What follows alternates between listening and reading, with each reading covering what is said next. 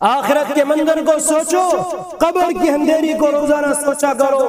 रात में जब सो लिहाफ में मुँह देकर, जब अंधेरा हो जाए लिहाफ के अंदर, कब्र के अंधेरे को याद क्या करो कि एक दिन कब्र में भी जाना है और कब्र का अंधेरा इससे सौ गुना ज़्यादा अंधेरा है।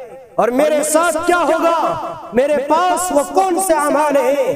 अरे कब्र तो अमल का संदूक है। कब्र में ही पता चल जाएगा।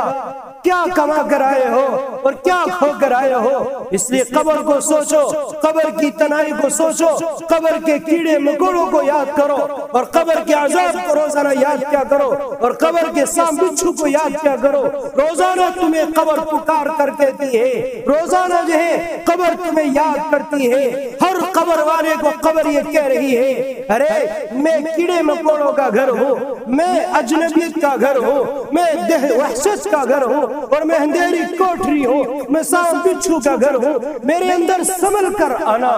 ये रोज़ाना हर कबर वाले की कबर पुकार कर कह रही है। हम भी तो कभी कबर को याद कर लिया करें कि मैं कल कबर में जाऊँगा, मेरे साथ क्या होगा?